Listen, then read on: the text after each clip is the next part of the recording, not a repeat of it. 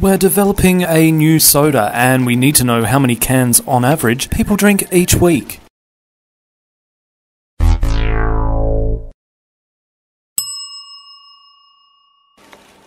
So, you're going to do a survey? Mm hmm. I'm going to be very scientific about it and call a person at random. I figure their answer is as good as any. You drink 25 cans a week? Great! The boss is going to love this.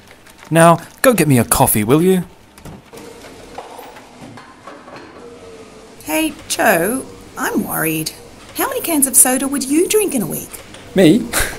no, I don't touch the stuff. Christopher was asked to find the mean number of sodas consumed by people in a week. That's a population mean.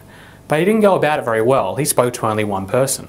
If you're trying to infer something about a population, you shouldn't just measure one value of that population. As Mary showed, individual values can vary quite dramatically across the population.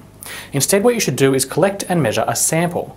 Samples, especially large ones, behave quite nicely. But what does nicely really mean?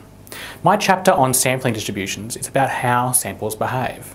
Join me in my textbook as we explore introductory statistics through engaging narratives where students will save Christopher from drowning in a sea of soda, see how beer can be used to calculate the average age of marriage, help tree hugging Todd complete his environmental reports, and many more.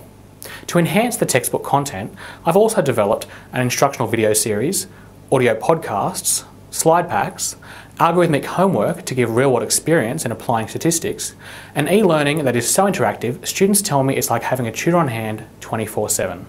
See you soon.